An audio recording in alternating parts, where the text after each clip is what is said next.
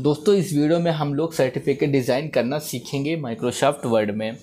जैसा कि आप देख रहे हैं कि मेरा माइक्रोसॉफ्ट वर्ड ओपन है और यहाँ पे मैंने एक सर्टिफिकेट डिज़ाइन किया हूँ। सेम इसी टाइप का मैं आपको सर्टिफिकेट डिज़ाइन करना सिखाऊँगा। तो चलिए हम वीडियो को शुरू करते हैं। तो ये पेज को हम कट कर दे रहे हैं और एक हम नया पेज लेंगे। तो पेज लेने के लिए सबसे पहले हम माइक्रोसॉफ्ट वर्ड को ओपन करेंगे। ओपन करने के लिए आपको स्टार बटन पे क्लिक करना है और सर्च में लिखना है आपको वर्ड जैसे आप वर्ड लिखेंगे, आपको जो टॉप पे मिलेगा, वो माइक्रोसॉफ्ट वर्ड का आइकॉन मिलेगा, वो आपको लिखा हुआ भी दिख जाएगा, वहाँ माइक्रोसॉफ्ट वर्ड आप जैसे इस पर क्लिक करेंगे, आपका माइक्रोसॉफ्ट वर्ड ओपन हो जाएगा। डॉक्यूमेंट ये हमको शो हो रहा है। पर हम जो पहला काम करेंगे, हम जाएँगे पेज लेआउट पे और यहाँ पे साइज़ लेंगे। साइज़ ए फोर हम यहाँ पे क्लिक करेंगे। बाय डिफ़ॉल्ट ए फोर आपका रहता ही है। तो मैं यहाँ ए फोर साइज़ पेज ले लिया। उसके बाद हम ओरिएंटेशन पे जाएँगे और यहाँ पे लैंडस्केप कर देंगे। लैंडस्केप करने के बाद आपको ये पेज मिल जाएगा, ये डॉक्यूमेंट मिल जाएगा। और उसके बाद हमें क्या करना है कि इसके हाइट एंड विथ का जो मार्जिन है वो ज़ीरो कर देना है।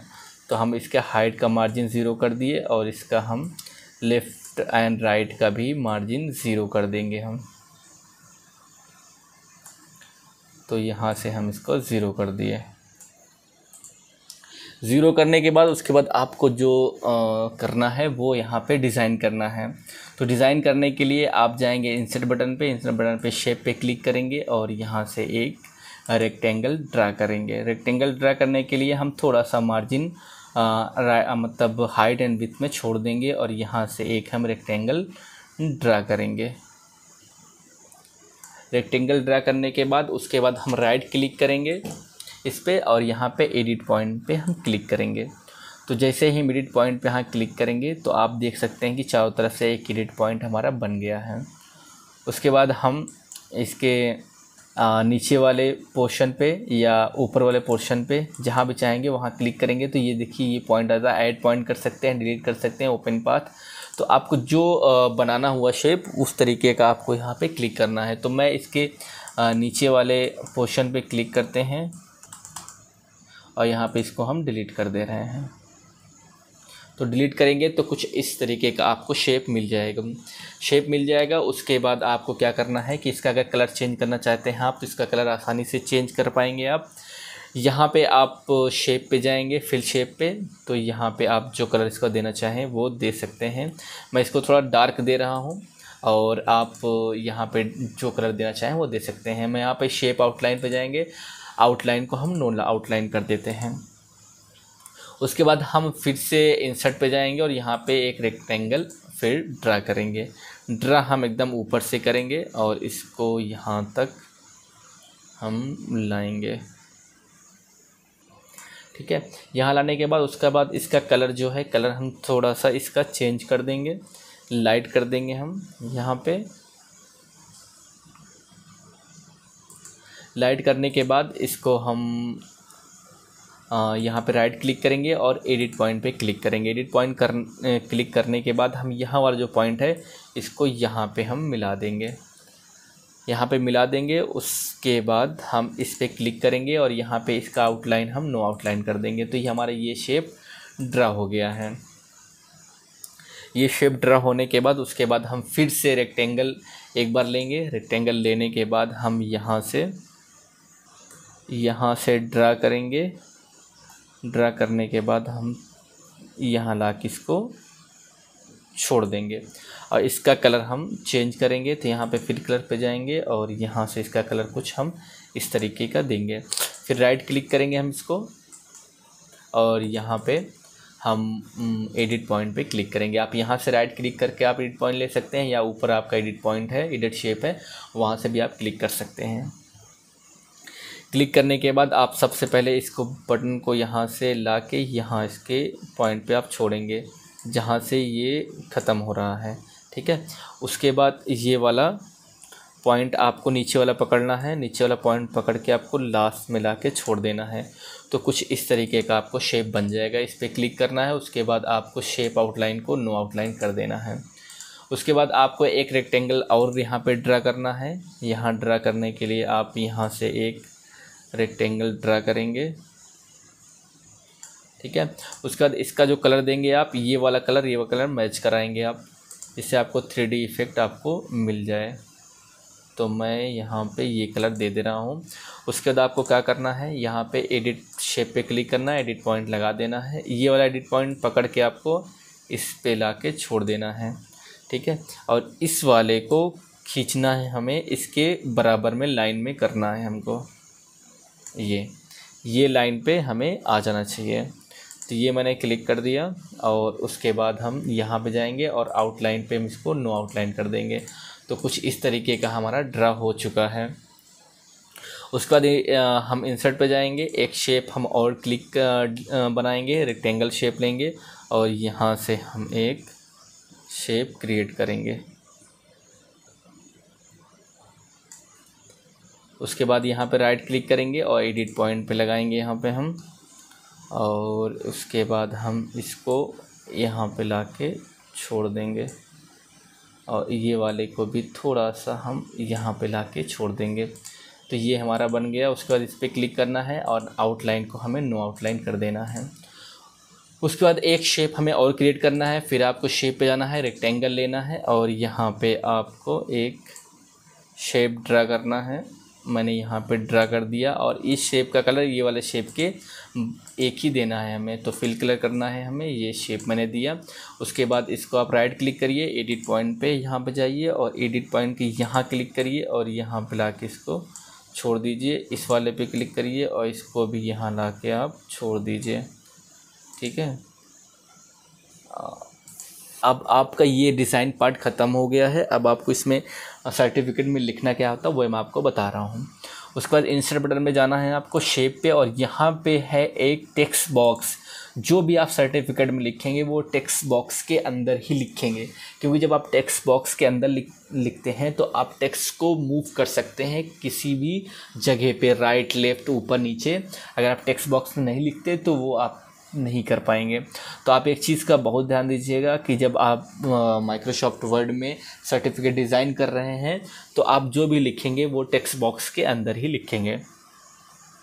तो हम यहाँ टेक्स्ट बॉक्स बनाते हैं और यहाँ पे हम लिखेंगे सर्टिफिकेट सर्टिफिकेट अब सर्टिफिकेट का जो फ़ॉन्ट साइज़ है फ़ॉन्ट साइज़ को हम बड़ा करेंगे।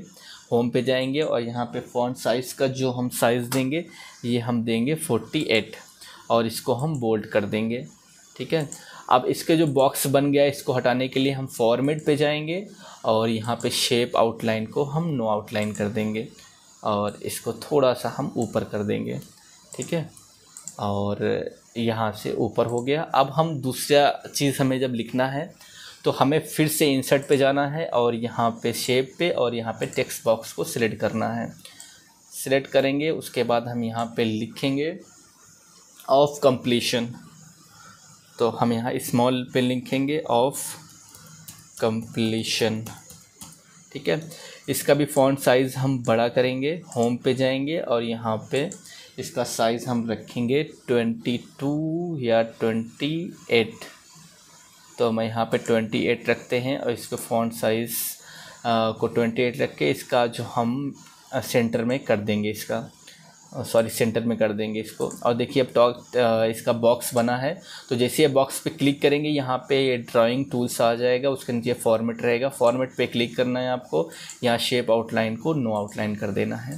तो देखिए हमारा आ गया सर्टिफिकेट ऑफ़ कंप्लीशन उसके बाद आपको जो लिखना होता है सर्टिफिकेट में कि किस लिए प्रेजेंटेड किया गया? तो उसमें एक लाइन होती है this certificate is proudly presented to जिसके लिए वो प्रेजेंटेड किया जाता है, कोई नाम होता है, जिसको दिया जाता है सर्टिफिकेट तो उसके लिए लाइन लिखी जाती है। उसको लाइन लिखने के लिए हम इंसर्ट पे जाते हैं शेप पे, और यहाँ पे हम लेंगे टेक्स्ट बॉक्स और एक यहाँ पे टेक्स्ट बॉक्स क्रिएट करेंगे।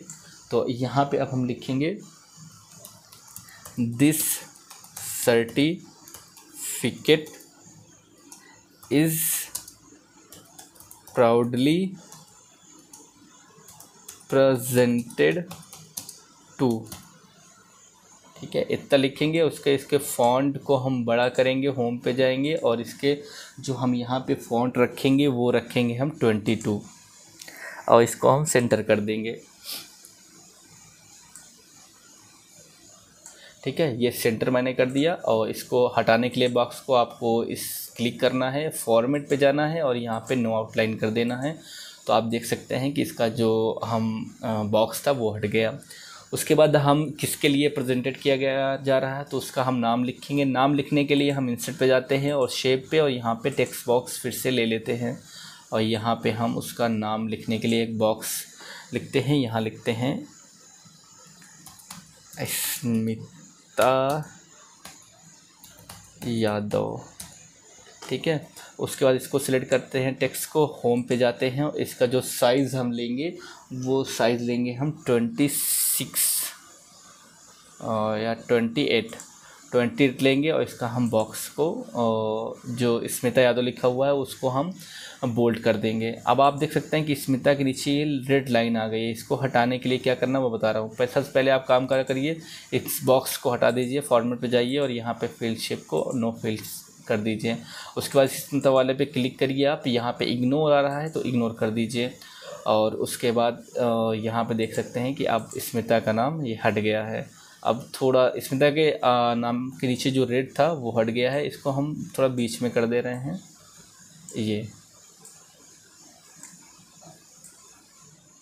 सेंटर में, और उसके बाद हम इसके नीचे, इसका हम अगर किसी कंपनी में है तो इसका कुछ आईडी नंबर होता है एम्प्लॉय आईडी नंबर होता है, उसको लिखने के लिए हम इंसर्ट पे जाएँगे, और यहाँ पे शेप पे, और यहाँ पे एक टेक्स्ट बॉक्स लेंगे, और यहाँ पे इसको नंबर हम लिखेंगे।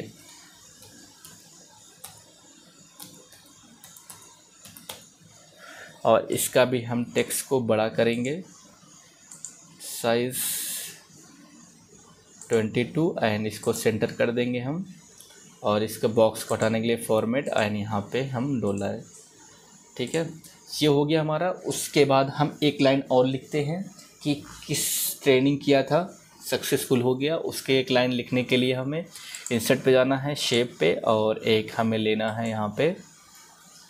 टेक्स्ट बॉक्स और टेक्स्ट बॉक्स एक बनाना है और यहाँ पे लिखना है on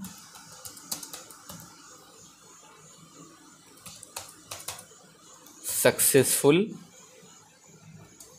completion of online training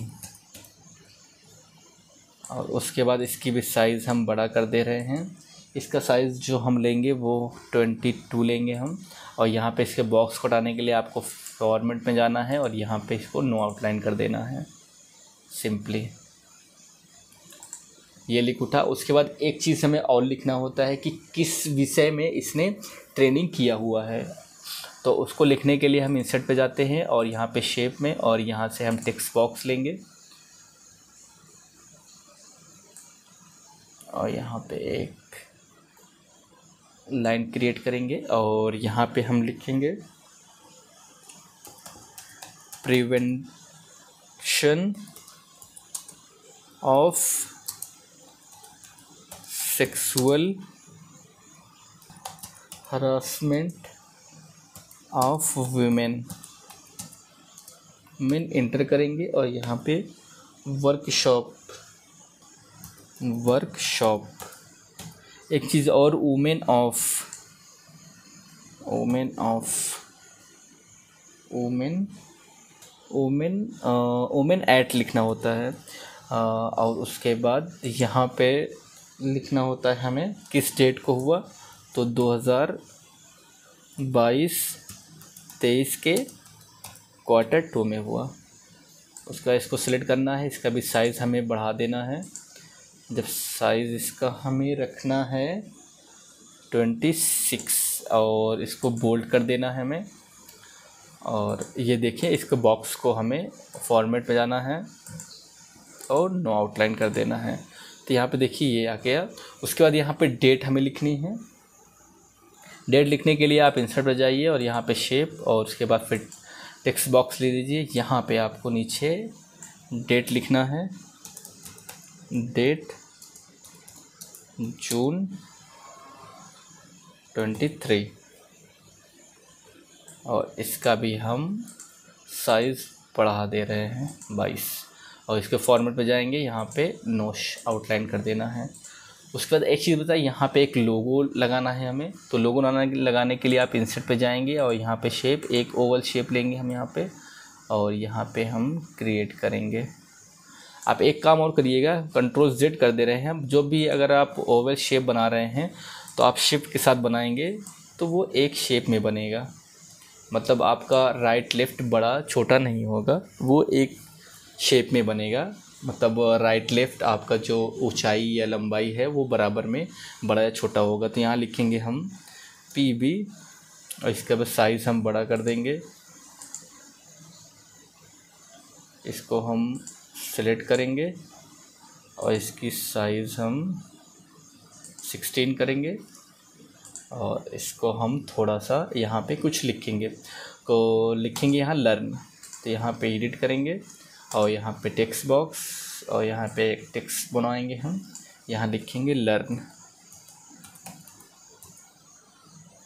learn और इसको सिलेक्ट करेंगे, यहाँ पे होम पे जाएँगे और इसका हम साइज़ बड़ा कर देंगे और यहाँ पे हम इसका फॉर्मेट पे जाएँगे और नो आउटलाइन कर देंगे।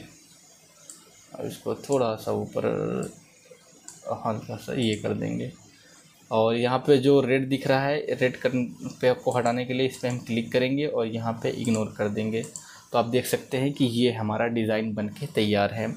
आप एक चीज़ का बहुत ध्यान दीजिएगा कि जो भी आप इसमें टेक्स्ट लिखते हैं, वो आप टेक्स्ट बॉक्स के अंदर ही लिखिएगा। जब आप टेक्स्ट बॉक्स के अंदर लिखेंगे तो कोई भी अगर आपको राइट लेफ़्ट या ऊपर नीचे करना है टेक्स्ट को तो आप वो कर पाएँगे आसानी से। जैसे स्मिता यादव लिखा है मैंने, यहाँ पे अगर इसको हम थोड़ा सा ऊपर करना चाहें तो आसानी से कर सकते हैं। मगर अगर आप बॉक्स के अंदर ना लिखे होते तो आप ये चीज़ें ना कर पाते। तो आप ये चीज़ बहुत ध्यान दीजिएगा कि जो भी कुछ आप लिख रहे हैं सर्टिफिकेट में वो आप टेक्स्ट बॉक्स के अंदर ही लिखेंगे। आपको कोई प्रॉब्लम नहीं आएगी। ये डिज़ाइन भी आसानी से हो जाएगा, आप लिख भी आसानी से लेंगे, मगर जो भी लिखेंगे आप टेक्स्ट बॉक्स के अंदर ही लिखेंगे। फिर भी आपको कहीं प्रॉब्लम आती है तो प्लीज़ कमेंट करिएगा, मैं आपकी पूरी पूरी सहायता करने की कोशिश करूँगा। Thanks for watching.